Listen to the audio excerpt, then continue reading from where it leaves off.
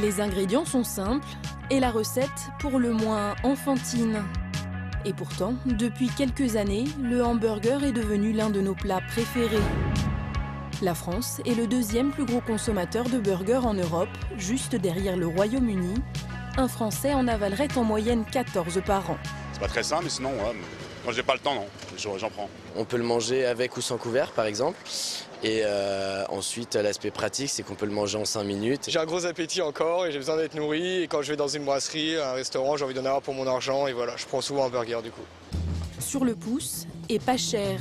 Vendu moins de 4 euros dans les supermarchés et seulement 1 euro dans certains fast-foods, comme ici. Nous voici dans le deuxième plus grand restaurant d'Europe de cette enseigne, chouchou des ados. Chaque jour, elle accueille près de 3500 clients, le double au week-end. Ici sont engloutis un ou deux burgers par repas, soit plus de 500 calories, l'équivalent d'un tiers des besoins quotidiens d'une femme. regardez tout le gras qui se dépose.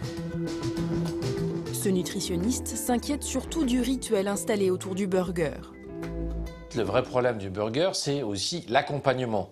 C'est-à-dire que quand vous prenez des frites et euh, un soda, par exemple, derrière, eh bien, c'est là qu'on a une vraie problématique sur le plan nutritionnel. C'est-à-dire qu'on rajoute du gras, on rajoute du sucre, on tente de vous rendre aussi un petit peu addict à cette nourriture, et tout est fait pour ça. Et ce, depuis le plus jeune âge. En plus, on vous fait un cadeau. Donc ça, nous condamnons tout à fait ça, et les pédiatres aussi, ce type de cadeaux qui sont faits, on ne vous donne pas ça quand vous prenez des haricots verts. Les industriels chercheraient donc à nous rendre accros. Mais il est difficile de savoir ce qu'il y a vraiment dans nos hamburgers. Sauce ou viande, les recettes sont bien gardées. Aucun des leaders sur le marché n'a souhaité nous ouvrir les portes de ses cuisines.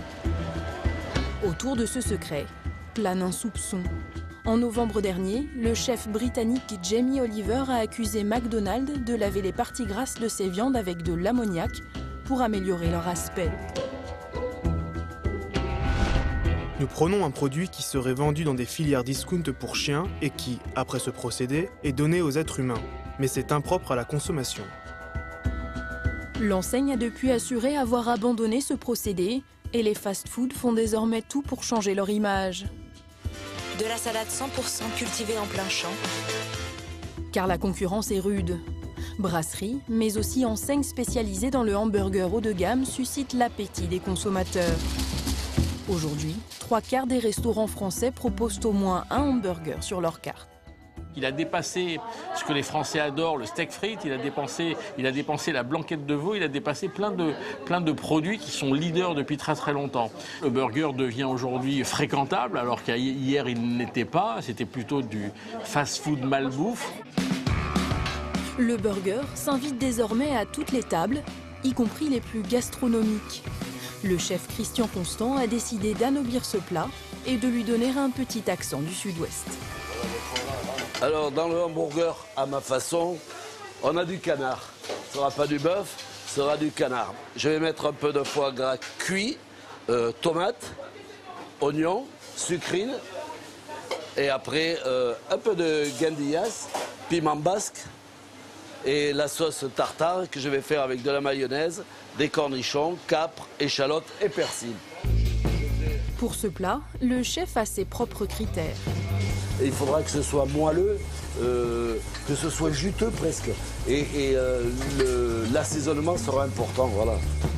Une recette gourmande, obtenue sans aucun additif. Je rajoute pas de, de matière grasse, puisque le foie gras a rendu assez de gras pour colorer ma tomate. En forme de pied de nez à la malbouffe, ce burger gourmet n'en reste pas moins régressif. Et est-ce qu'un burger de chef, ça se mange avec les mains aussi? Exactement. Mais bien sûr qu'il faut le manger avec les mains. Comptez 39 euros pour ce burger proposé au menu selon les arrivages.